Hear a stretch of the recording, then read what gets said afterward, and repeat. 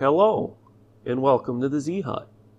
Today I would like to show you how you can blink an LED with your Arduino without having to use delays in the sketch. Now the main reason for not wanting delays in the sketch if you wanted a LED blinking is if you were doing something that requires high speed sensing. And what I've done is for this demonstration I put together a little circuit that has a photo interrupter and uh, let's just say you're using this for high speed photography. And if you had it set so when it was triggered, ready to go, and the water drop actually went through the photo interrupter while the LED was flashing, it wouldn't take the picture. And uh, that's just one example. There's lots of other uses for this, but that's just one example. So what we're doing, and I'll show you at work here real quick. See, the LED was still blinking. And uh, if we were using the Arduino sketch with delays in there, it would have missed that.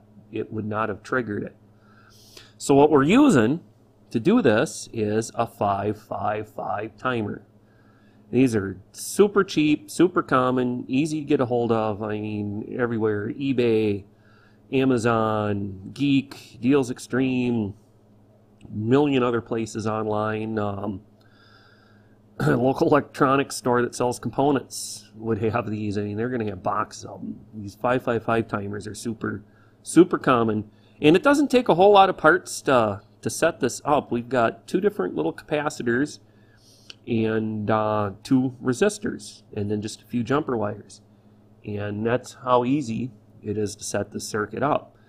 And then I just have it hooked currently I have the VCC for the uh, 555 timer hooked to digital pin 11. So when digital pin 11 goes high, it turns the timer on. Now, there's a couple other connections on here that need to go to the power rail, and you don't have to hook those to pin 11. You can just hook them to power because when the chip doesn't have power to the VCC in, it uh, just won't work.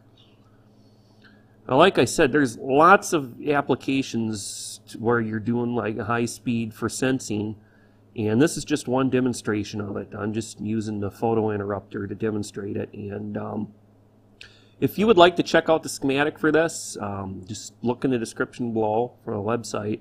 And I'll have a schematic on there for this. And uh, also, if you just wanted to hook the 555 timer up as a blinker, you can uh, just look at the data sheet for the 555 timer.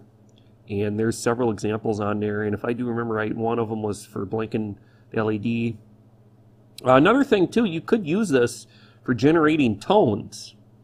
And you can hook this up to make a, with uh, some different capacitors and a different setup. So it makes like a siren where it goes up and down. and uh, then you would not have to use delays and stuff, of course, for tones that you were producing from the Arduino. So that's there's another application. You could do tones with it, uh, and it'd be a variable tone. It'd be a siren, like up and down like that. But um, yeah, that's all there is to it. Um, I'm not going to go over the sketch because I, I, don't see a point to, but I will have a copy of it on the website. So if you'd like to check that out, you can see right in the sketch there are no delays. When the push button is pushed, it just digitally writes pin 11 high, and then the 555 timer takes over, blinking the LED, and then when that's tripped, yeah, the LED goes out. All right. Um, well, if you found this information useful, please give me a thumbs up. I'd appreciate it. And uh, make sure you check out my next couple videos I'm going to be putting out. Um, we're going to take this a little further and we're going to use some uh, logic gates and hex inverters and show you some of the other chips that you can use with your Arduino board uh, to help um, do things that normally would be kind of complicated to do in the, in the programming for the Arduino board. So uh, make sure you check those out. Um, just uh, go to my website and look under the Arduino projects tab. And uh, you'll find those. And I'll be getting my next video I should have up tomorrow or the next day. So with that, thank you for joining us here at the Z-Hut today. Have a great day and have fun building.